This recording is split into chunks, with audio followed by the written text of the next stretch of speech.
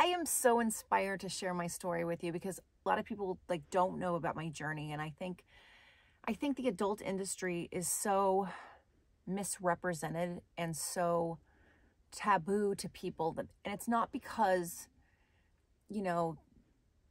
it's it's because they they hear things about it in Hollywood and in mainstream that everything is like evil and and dark and drugs and just terrible situations but I really want to share the story of someone who found herself in that industry because she was allowed that freedom to be herself and she was accepted